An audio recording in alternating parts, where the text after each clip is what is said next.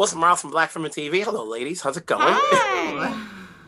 it's always comfortable when you have a season two because now the audience can get invested in watching these shows.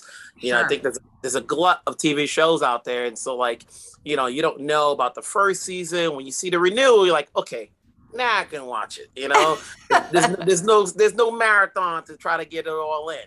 So now that we're going into season two, what are the changes we're gonna get with your characters? Busy? Um, well, listen, we, you know, I'm, by the way, totally with you. Like sometimes people ask me what I watch, and I'm like, I don't know, HGTV. I can't even pick a TV show. There's too many.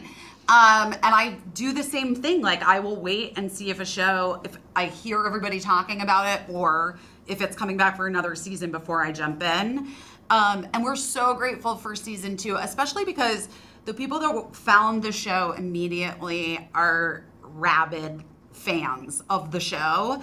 Um, and we're really proud of season one and how how much fun and joy we had making it.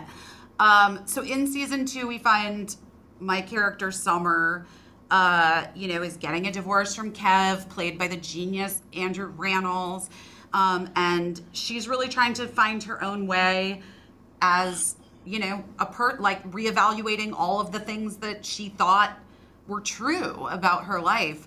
Um, and the ladies have a record deal, so they're they've got a little bit of momentum, they've got a little heat, and they want to continue it. Um, and we are following them as they try to make an album and uh, and also deal with all of their their life stuff and their at home stuff um, and their interpersonal relationships. Like my relationship, Summer's relationship with Gloria is always so fun.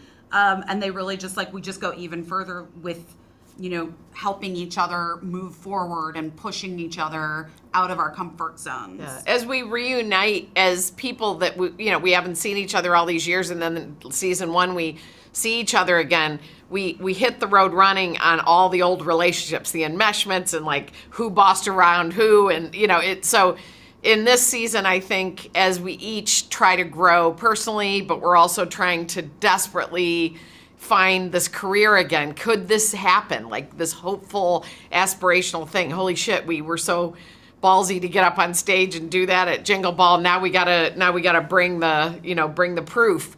Do we have talent? Can we can we actually do this? And I think Gloria also is trying. She her character you know, similarly to me when I was growing up as a closeted gay person, is like you're you're always avoidance. It's always about either putting all the attention on someone else because then they won't ask about you and you won't have to be truthful of your own life. But she always was avoiding her life, and now it feels like she just is really digging in to try to be in her life. She wants her her wife back. She wants her career. She wants she wants to really feel like she's living the hell out of it every day, and that's that's how I feel like this season is for her. So our songs are the songs are great this year. We have this new album we're putting together um, in the show, and it's just a really fun season. It's really funny. And we get to Hard- perform at Terminal 5, iconic. Yeah. I was gonna say, how hard is it for an old group to come back with a new song, as opposed to like live forever on just the classics? You know, I just went to a concert not that long ago, and there was individual singers, but I'm thinking about like if it was a a, a group, you know, all you want to hear is the the old stuff. You know? Oh my God! You go to these concerts and you see some. I mean, I would go to the Doobie Brothers. I'd go to these all these different groups.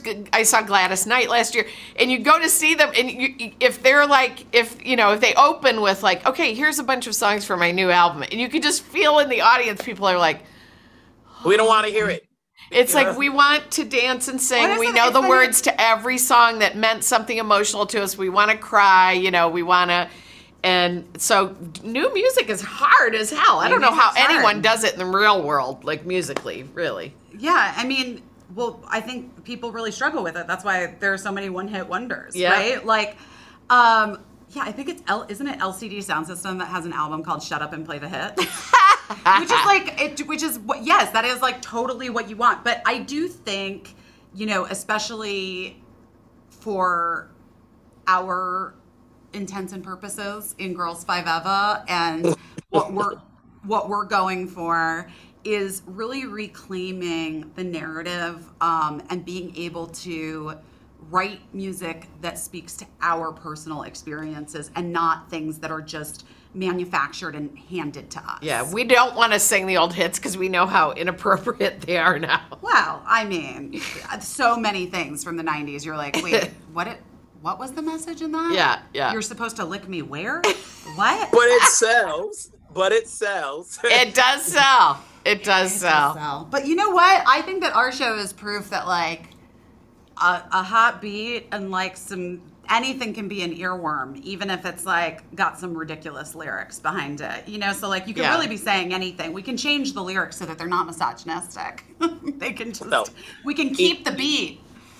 We're back for season two. I'm glad it's back. Um, now people can invest and watch you girls go crazy. Keep it going. Let's talk Thank hopefully you. next Thank year, you. season three.